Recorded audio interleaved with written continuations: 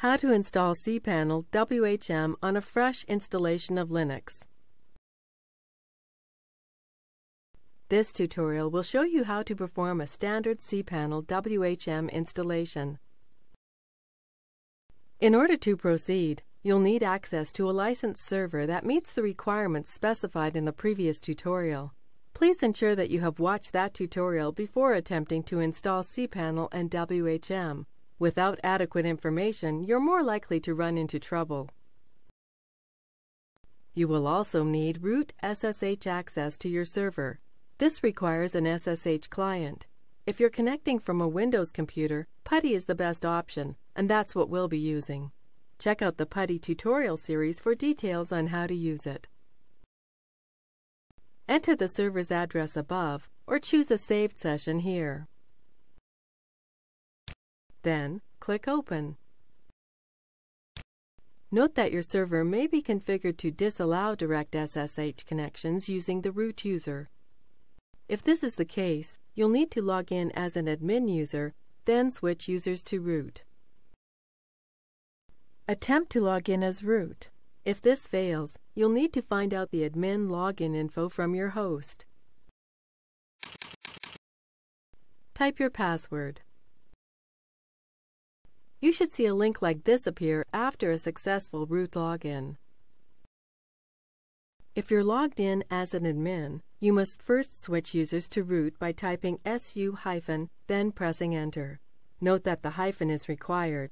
You'll be prompted for the root password, then should see a line similar to the one shown above. As root, the first command you'll enter is cd home, followed by the enter key. Note that the current directory has changed to home. Next, retrieve the latest version of the cPanel installer by typing the following command exactly as shown, as always followed by enter.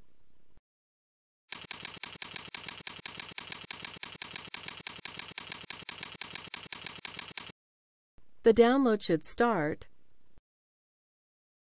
then quickly finish. We're now ready to begin the installation. To execute the installer, type sh latest, then press enter. You'll begin to see some output right away. Here you'll see the installer reinforce the warning that cPanel requires a fresh server without any websites on it. All existing configuration files will be overwritten, so you should hit Ctrl plus C immediately if you have any sites on your system. cPanel Layer 1 installation has now begun. Notice the message that the installation will take 10 to 70 minutes to complete, depending on your hardware. Your install time will probably be on the higher end of that range, so let it keep running and check back later. A while later, cPanel Layer 2 installation will commence and then complete. Then, post-installation begins. The installation is now totally complete. To finish, let's ensure that our license information is up to date. Type the command shown below, then press Enter.